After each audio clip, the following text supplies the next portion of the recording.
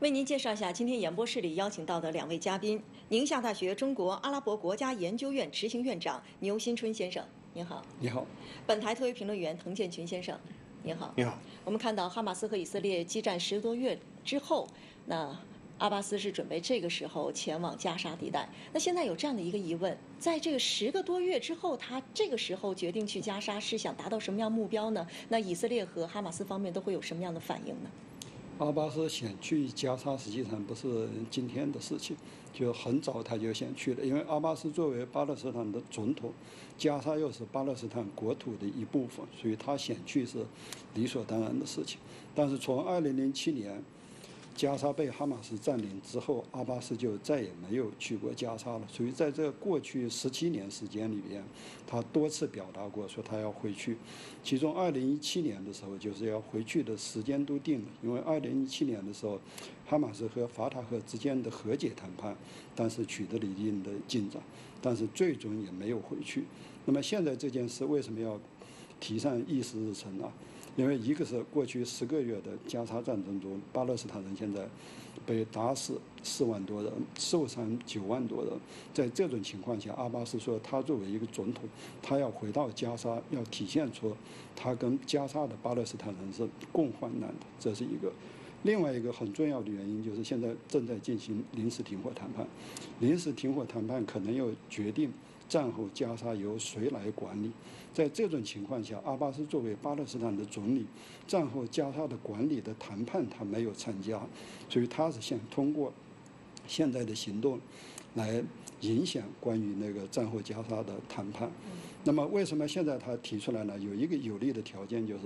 过去十个月国际社会对两国方案巴勒斯坦建国的支持力度大大增加了，所以现在国际环境比较有利。他这次要回去，他先找的是那个联合国、联合国安理会、欧盟、阿盟这些国际组织，先寻求国际支持，然后通过国际。社会向哈马斯和以色列施加压力，但是他要回去也不是那么容易。为什么过去十七年都没有回去？他要回去必须同时得到以色列和哈马斯的同意。到现在为止，以色列和哈马斯都没有表示说他们同意。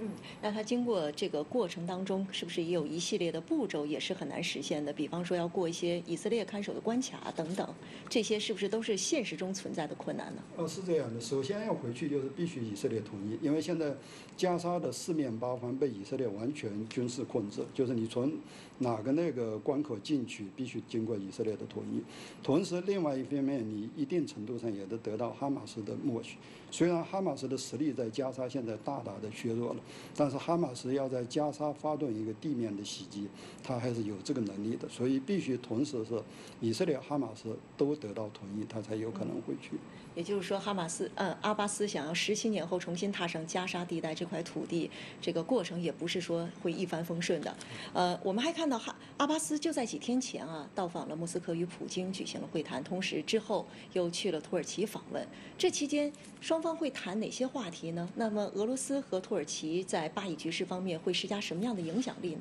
呃，主要有这么几方面。第一个方面呢，就加强跟各个方面的协调，因为我们都知道，呃，最近一段时间呢，其实哈。马斯也好，法塔赫也好，那么巴勒斯坦内部呢，呃，出现了这种这个呃走到一起的这个基本态势。比方说，今年四月份在北京，呃，巴塔赫和这个哈马斯举行了这个接触。那么今年七月份呢，呃，巴勒斯坦十四个代表。那么在这个地方呢，在北京呢举行了这个呃三天的会议。那么同时呢，发表了北京宣言。其实巴勒斯坦内部呢，它的政策也在做出调整，做出协调。特别是在哈马斯政治领导人遇刺以后呢，那么对于加沙地带怎么管控，呃，这显然呢，呃，巴勒斯坦这个权力机构，特别是阿巴斯总统，他有一个这个总的想法，所以加强跟有关方的这个沟通，包括跟俄罗斯跟土耳其的沟通呢，他主要是介绍巴勒斯坦现现在面临的一些这个问题或者挑战，是或者是呢，呃，把巴勒斯坦政策呢告诉这些国家。第二方面呢，它其实还是要呃这个把这个权力这个机构呢，把它延展到加沙地带。其实二零零七年之后呢，加沙地带呃完全脱离了就是巴勒斯坦权力机构这个控制，由哈马斯来独立的呃管理这个加沙地带这块区域。所以如果说能够踏上。这个加沙地带的话，那就意味着巴勒斯坦这个总统可以对这个地区行使他的这个呃主权，行使他这个这个管理。所以这是第二方面。第第三方面呢，我觉得还是跟呃现在加沙地带的这个形势呢有很大的关联。一方面，我们看到包括美国、包括埃及、卡塔尔等国的推进这个呃和谈，但是另外一方面呢，呃，以军呢还在加大在这个加沙地带作战行动。所以呢，这个加沙地带这个形势现在呃非常的复杂。如果说呃阿巴斯能够出来呃作为这个一方。呃，参与到这个谈判当中呢，我觉得这对解决加沙地带冲突呢是有利好的。所以阿巴斯现在呃做出这样一个宣誓呢，就说他要到呃这个加沙地带呢，我觉得有他这个内部的考虑，同样呢也有这个对于当前形势的一种研判。嗯，以军方面是在十六号宣布说，呃，准备结束在加沙地带的军事行动，认为哈马斯基本已经被击溃了。那这个是事实吗？现在在加沙地带与以军进行战斗的力量是什么呢？现在主要还是哈马斯，到底现在哈马斯的实力还有多强大？这是一个争议很很大的问题。一方面呢，就像您刚才说的，以色列的军方和以色列的政府都说现在哈马斯已经被消灭的差不多了。那么内塔尼亚胡前些时候在美国国会演讲的时候，内塔尼亚胡说，哈马斯马上就要被消灭了，胜利就近在眼前。根据以色列的评估，哈马斯总共是有二十四个营的兵力。那么现在有二十二个营已经被完全打垮了，就只剩下两个营了。那么这两个营主要是在中加沙。为什么这两个营基本上没有蹲呢？以色列认为，以色列的被扣押人员基本上都掌握在这两个营控制的地区，所以他他们没有动。那么根据以色列的评估，哈马斯战斗人员大概有三万人，现在以色列已经消灭了一点七万人。哈马斯的中层以上的军事领导人已经被消灭了一半以上，所以他认为哈马斯基本上被消灭了，就大规模作战的阶段，不管你临时停火能不能达成，都要结束了。但是呢，八月份的时候，美国 CNN 电视台和另外两家美国的研究机构做出一个报告，然后跟军方的评估有很大的差距。根据他们的评估，哈马斯二十四个营。真的被消灭了的只有三个营，然后其中有八个营还有很强的战斗力，就这八个营还可以作为一支军队在加沙地面上对以色列来发动袭击，剩下十三个营受到了严重的削弱，不能够发动正式的进攻了，但是他还能够发动零星的不太成功的游击战，所以根据他的评估，哈马斯实力还很强。更重要的是，根据他们的评估，哈马斯现在在中加沙和北加沙的十六个营的被打散、打垮的这个军队正在重新集结，正在恢复他的战斗力。所以过去半年，其中有七个营至少有一次展示过他有比较完整的战斗力。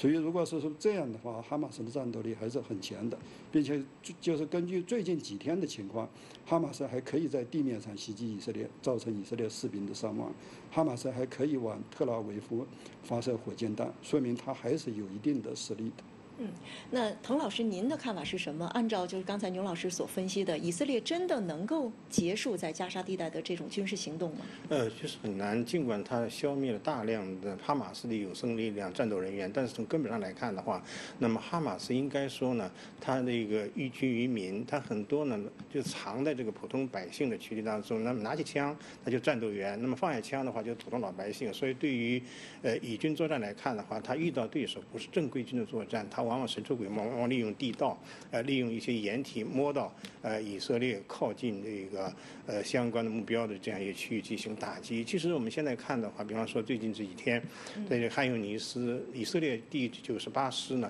又过来了。这个师呢，其实在去年，呃，以色列的地面部队进入到加沙地带以后呢，一直在汉尤尼斯这个地区呃发动这个攻击行动。那么今年四月份呢，又撤出去，撤去做做了短暂休整之后呢，六月份又回来。所以现在这两天又在攻这个还有尼斯。他的这个主要理由呢，就是认为这个地方呢有卡桑旅，就是哈马斯的这个主要作战作战力量。卡桑旅呢用这个火箭弹呃打了这个特拉维夫，那么他现在进行这个报复。所以你从现在的整个一个加沙地带的交战形势来看的话，呃，双方呢，这。个力量似乎是不对称的。那么以这种不对称作战来看的话，你以色列再强的军力，不管是海军、空军、陆军，那么很难对付这样一个游击式的这种作战行动。总是丧失目标。总是丧失目标，而且呢，有时候可能会吃大亏。你比方说这九十八这个呃师的话，它就是因为在汉尤尼斯方面呢，呃遭到了巨大损失，所以今年四月份撤出去了，休整一段时间又回来了，在这里继续打这个汉尤尼斯这个地方。所以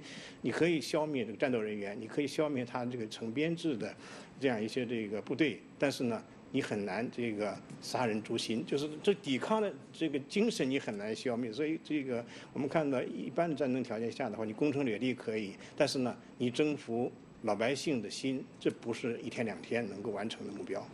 另外，我们还看到加沙战火已经持续十个多月，何时能够实现停火是备受关注。新一轮的谈判暂定二十一号在开罗举行，那各方还将如何博弈呢？来看下面的短片。埃及消息人士称，新一轮加沙停火谈判暂定于二十一号在埃及首都开罗再次举行，希望敲定最终协议。在此之前，相关谈判十六号在卡塔尔首都多哈结束，哈马斯未派代表参会，由斡旋方传话。美国总统拜登在多哈会谈后曾表示，以色列与哈马斯越来越接近达成停火协议，但此言论遭到哈马斯方面否认。哈马斯称这是错觉。十八号，哈马斯发表声明，指责以色列总理内塔尼亚胡在阻挠停火协议的达成，意图延长战争，而美方新提案过于偏向内塔尼亚胡的立场。与此同时，以色列时报透露，内塔尼亚胡十八号表示，他对达成停火协议感到悲观。并称以色列将在关键问题上坚持自己的立场和要求。他指责哈马斯拒绝在停火谈判中妥协，称国际社会必须对哈马斯施压。为推动加沙停火谈判，美国国务卿布林肯于当地时间十八号抵达以色列，十九号会见包括内塔尼亚胡在内的以色列高层。法新社称，这是自去年十月新一轮巴以冲突爆发以来，布林肯第九次访问中东地区。在多哈的谈判仅仅两天就无果而终。呃，现在看来，哈马斯和以色列之间的矛盾似乎还是无可调和。在这样的情况下，二十一号重启的开罗谈判能够敲定最终协议吗？嗯，他有这种可能性。现在谈谈判到底取得了什么进展？到底在什么问题上还有重大的分歧？其实不知道，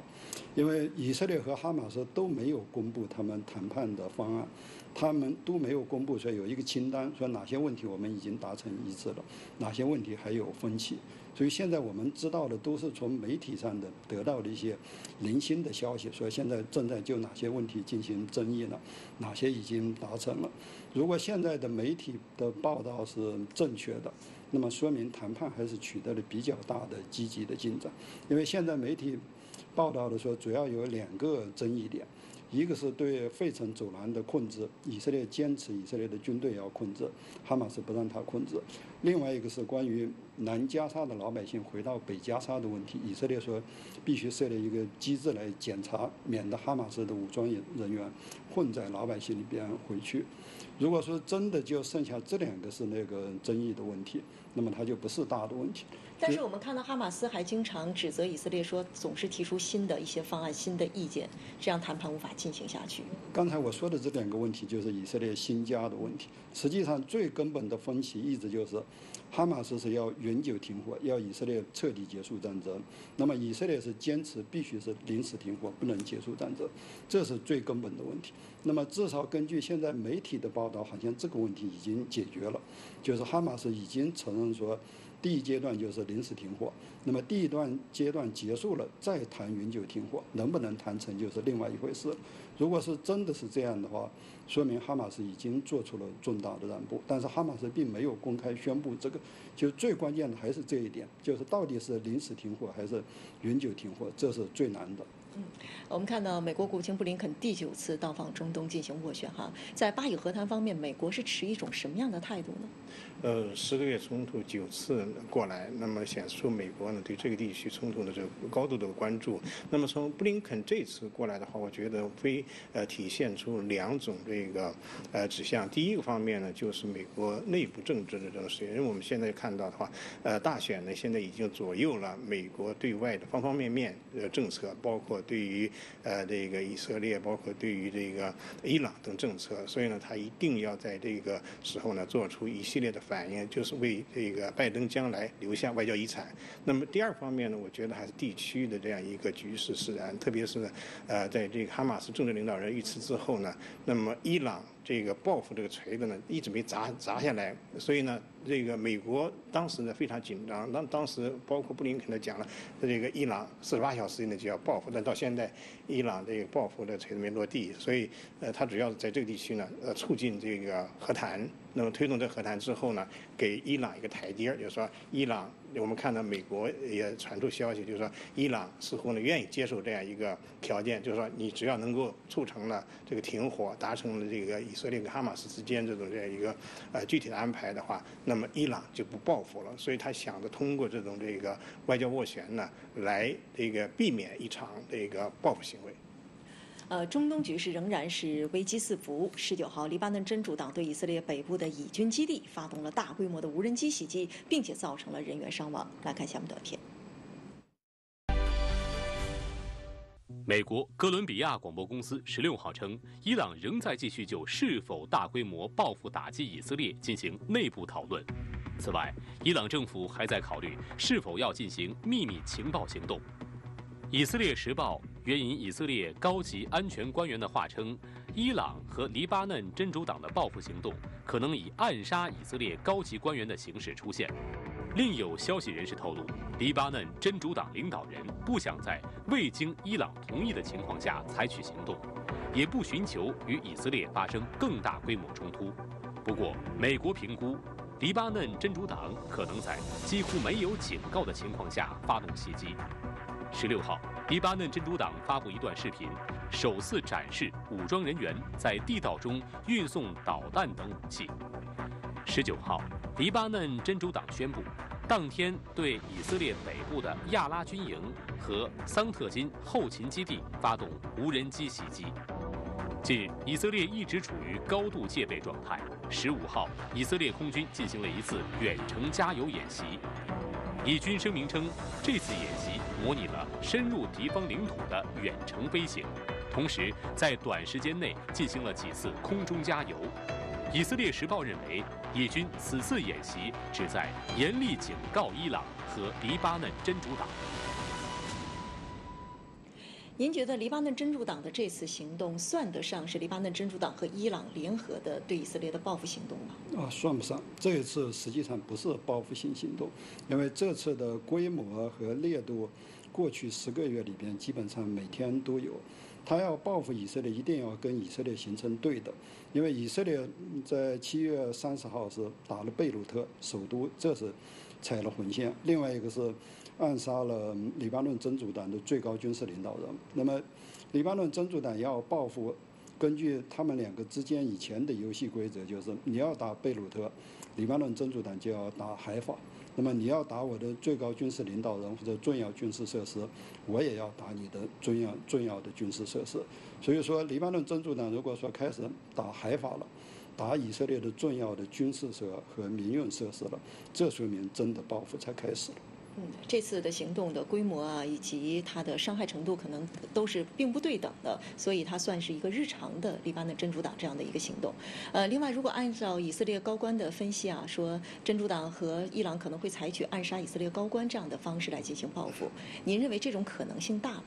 呃，应该说我们这次这个摆在黎巴嫩真主党和以色列面前，呃，这个呃伊朗面前的一个重要的选择。那么现在为什么伊朗迟迟不能这个发起报复呢？我觉得。伊朗在伊朗在做做这个犹豫，特别是从他的领导人来看，因为这个刚上台，那他怎么样来摆平这样一个突发事件，特别是哈马斯政治领导人遇刺这个事件。所以在这个时候呢，如果说真的大动干戈，像这个呃今年四月十四号向以色列本土发动了这个导弹和无人机的攻击，那么可能会这个带来这个更高的这个升级的报复，包括以色列，包括甚至美国都会出兵，这个跟呃以色列形成面对面的呃这样一场冲突。所以在这种背景下来看的话，我想从战略层面来看，那么伊朗在犹豫，他主要希望呢不要会因为这样一场这个政治谋杀事件呢来破坏他现在在中东地区正在构建的比较利好伊朗的一个